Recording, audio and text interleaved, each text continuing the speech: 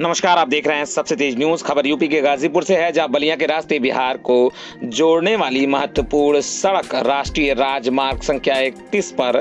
कटवा मोड़ के पास बेसो नदी पर प्राचीन जर्जर कटवा पुल का लगभग 13 करोड़ की लागत से स्वीकृत नई पुलिया का भूमि पूजन शिलान्यास। आज विधि विधान से बलिया सांसद वीरेंद्र सिंह मस्त ने किया।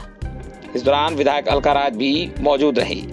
हनुमान मंदिर कड़वा मोड़ पर आयोजित एक सभा को संबोधित करते हुए सांसद ने कहा कि भारतीय जनता पार्टी ने देश की राजनीति में काम के भरोसे का संकट जो पैदा हो गया था, उसे दूर किया है। हमारी पार्टी जो करती है, जो कहती है, वही करती है और वह दिखता भी है। उन्होंने कहा कि देश के विकास में भारतीय जनता पार्टी की सरकार ने बिना भेदभाव के कीर्तिमान स्थापित किया है।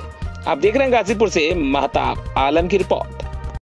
देखिए, राजनीति में जो भरोसे का संकट था इसीलिए समान रहती है कि यह काम होगा कि भी नहीं होगा। हम लोग जिस दल से काम करते हैं, उस दल के कार्य से, उस दल की सरकार के कार्य से राजनीति में भरोसे का संकट समाप्त हुआ। इसलिए कि जो हम कहते हैं, वो करते हैं, वो दिखता है। ये सड़क और ये पुल और बगल के सड़क नेशनल हाईवे के द्वारा स्वीकृत हो गया है। उसका अधिकारी आया है। उसके पैसे सेंक्शन हो गए हैं। उसका निर्माण करने के लिए पैसा सेंक्शन होने के बाद काम की शुरुआत कराने हम लोग आए। केवल कहने नहीं है। इसलिए हम जो कहते हैं, वो करते हैं, वो दिखता। ये है राजनीति में बेभरोसे का संकट जिसका समापन अपने कार्य के करने के कारण से हो रहा है। दूसरी बात, हमने चुनाव के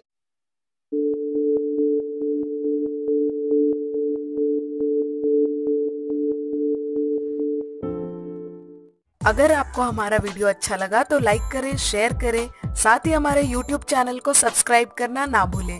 लेटेस्ट वीडियो अपडेट के लिए घंटी बटन दबाएँ।